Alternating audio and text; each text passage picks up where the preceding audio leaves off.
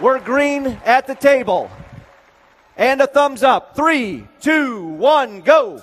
And we're off in autonomous. Semifinal one, match number two. Uber tube is being hung quickly for the Blue Alliance. Red Alliance trying to answer, and they do.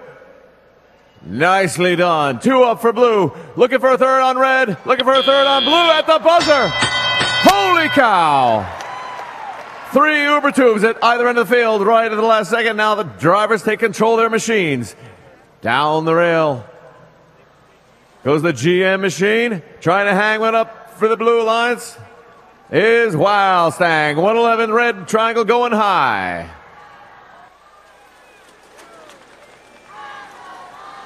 Thunder Chickens moving around the field, being boxed out. Lots of defense going on in midfield. Wildstang once again with a tube going up, looking to make the logo for blue. And they do so. Blue jumps ahead with that logo. Going up again once more time.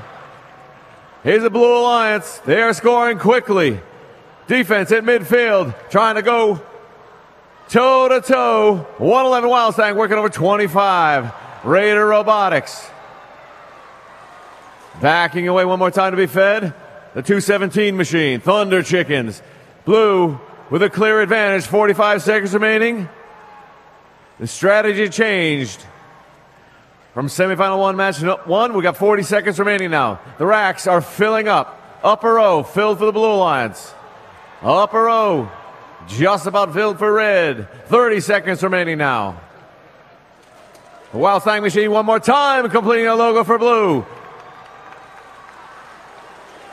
20 seconds now. Robots crashing into each other at midfield.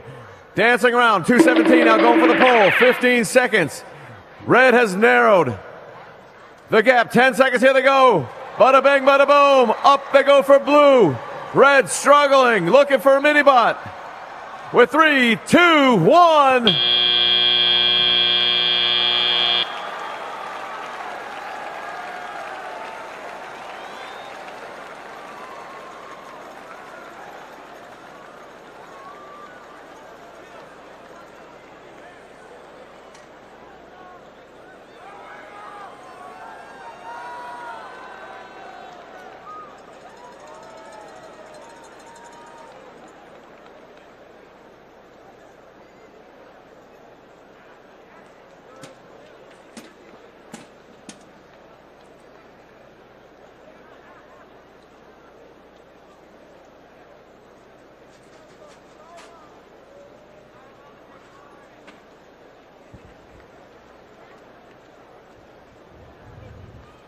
The official results from semifinal one, match number two.